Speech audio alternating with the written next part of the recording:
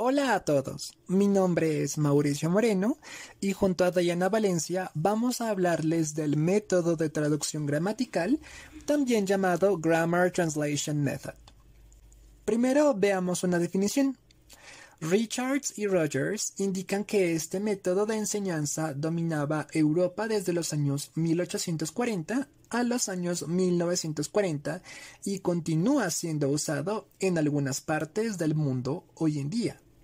Estos autores indican además que el método de traducción gramatical fue cuestionado y rechazado a mediados del siglo XIX debido al incremento de la comunicación entre los europeos, lo cual requirió mayores competencias orales en idiomas extranjeros.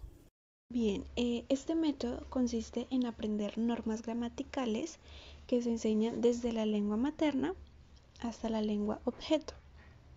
Además, eh, hay ejercicios de traducción, aprendizaje de vocabulario y escritura de frases cortas. Mm, este método también permite a los estudiantes realizar escritos en la lengua extranjera y ejercitar la utilización de la memoria para el aprendizaje de nuevas palabras. Veamos ahora algunas características del método de traducción gramatical. Para comenzar, se basa en estudiar la gramática traducción de la lengua objeto y debe realizarse en el idioma nativo de los estudiantes.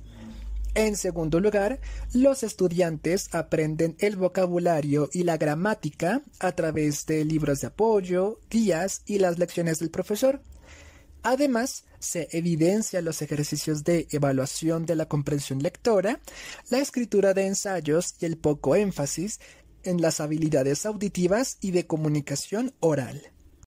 Encontramos también dos características más, eh, como el estudiante realiza múltiples ejercicios de práctica en el idioma extranjero de carácter escrito y el estudiante debe prestar atención a la escritura correcta de frases cortas, eh, teniendo en cuenta las normas gramaticales y el vocabulario visto en clase.